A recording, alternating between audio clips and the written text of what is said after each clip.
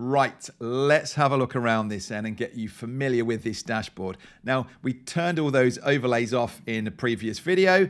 We're going to, as we work around this main window, just bring them back on screen so you can see what they all are. We've also given you a handy little guide to download, print off, and keep near your computer so that whenever we talk about these different things, you're going to know where to go and find them. And please, while you're watching through these videos, I'm hoping you're going to have Ecamm at the side of you actually doing this. So feel free just to pause this video, have a go with it, and then let's carry on. Now, we're going to start up at the top here and work our way around this screen and see what all of these different features are. Right at the top then, this is saying default scene and it's opening and closing this scenes window here. So if I've got it off, I can say show scenes window and this gives me access to these scenes. Now, as I mentioned before, you can move these around, position them wherever you like. And when we want to add a new scene that you're going to see in one of the next videos, we just hit plus down here and it gives us a new scene that we can change and work around. So this is a good one to keep open. Now at the minute I've got this little red box down here talking about cameras and microphones. This is a virtual camera, virtual mic. I'm not going to get into this one just yet, but um, don't be surprised that you haven't got that turned on yet. Now the next thing we see along the top is stream and record. Now if yours just says record, it's probably because you've got this turned off here. But what we're doing here is turning on and off three different options for how we're using this. So if you're going live to Facebook, YouTube, Instagram, LinkedIn, uh, or, or, multiples of these at the same time, then you tick on stream, and then down the bottom here, it'll say new, and we can say create a new broadcast, add a destination to this, and then we would either go live now or schedule it, put a thumbnail in, and all those things. So that's when we're actually streaming. Now, you might not want to stream. You might say, all I want to do is record a video for YouTube, or I want to record a video for a course, record a podcast. So then we simply turn off stream and notice what happens at this bottom corner. That now changes and becomes record. So now I can just hit record and away this goes. In fact, when I click on this here, notice now that it tells me at the top, we are recording and this is live. I can hit finish, end recording, and you've just done your first recording as easily as that. Now, if I want to stream and record, then I would leave it like this. I really can't think of a time when I would want to stream it and not have a recorded backup. So always keep that on virtual camera. This gives us an option if we wanted to take what we're doing here out to Zoom or a webinar platform, then the virtual camera is allowing us to, everything that's happening here in this Ecamm window, take that out to Zoom. Again, I'm not covering that at this early stage, but I just want you to see that it's there. And when I turn that off, that's what makes that disappear or appear at the side of me there.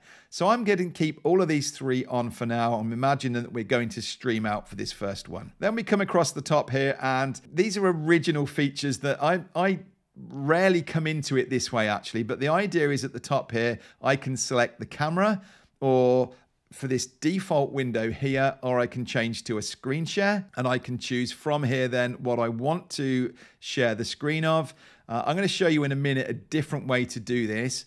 Or I can come over here and I can select a video that I've been playing. Darren Lee, and I've just completed and that will bring that in. So they're there. I honestly don't tend to work from here. When I'm building up my scenes, you'll see that we do this and I tend to come to the menu across the top and it says, what source do I want? And I would access it from up here but we're going to get to that one. Now, mine says Pro up here because that's the account that I've got, and you're likely on your trial at the minute, so it's not going to say that, but it will when you subscribe if you choose the Pro plan. Then we come over to the side, and this is where really all the work is going on. These are controlling all of those little tabs that you had appearing and disappearing. So right at the top, we've got our camera switcher. So this camera switcher uh, really came from folk like myself that want to have multiple cameras installed and be able to put a placeholder and say, I want this one to be camera A.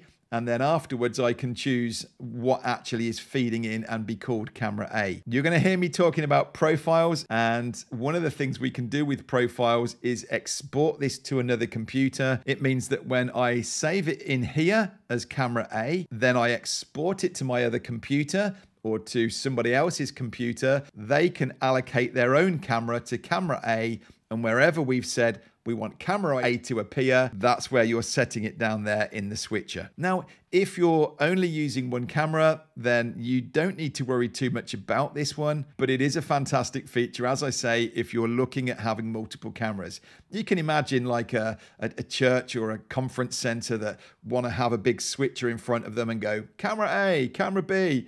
Uh, that's really what this is doing. Okay, the next one down, if you just hover over it, you'll see that it tells you there what it is, show and hide overlays. This one is super important. Everything we're building out, remember what I said, we're creating scenes and then everything that comes onto the scene is an overlay. And we've got options on here to show in all scenes, show in just the current scene or show in background. And then along the bottom, we can bring in an image as an overlay. We can have an animated overlay. We can do a screen share overlay. You'll like that one. We can do a text, a couple of options with text overlays, an object overlay, a countdown, a web widget, a camera overlay, and then actually putting things into folders if we want to. So you're going to spend the majority of your time over there building out a new scene and then bringing on a whole load of overlays. Uh, as I say, we're going to do this in the next video. So that one we'll be using a lot. The next one down, the third one down is our sound levels.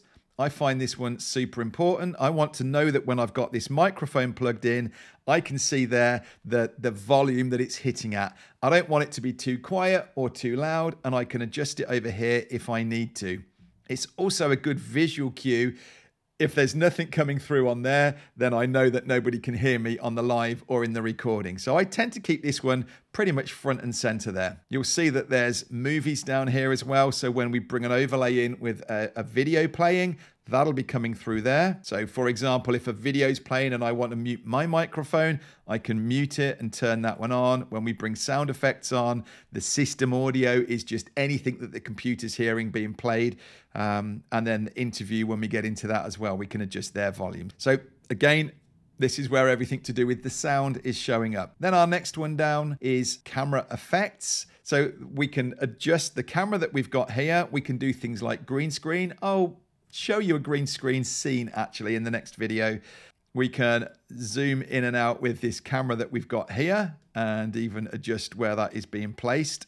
We can do some fairly basic settings with brightness, with the color temperature, with the tint, saturation, um, and then gamma on here. But um, yeah, please handle with care. I'm going to hit reset on that. You can do things like mirroring this around if you want to, black and white, sepia, blurring it, uh, or rotating it. So yeah, anything camera-wise is happening in that overlay. And then we've got some sound effects over here. There are some built-in sound effects if you want, or if you wanted to play some music, again, I'm gonna bring some music in in the next video, and you'll see that that goes into sound effects. And notice that it's the same name over here. So when we play a sound effect,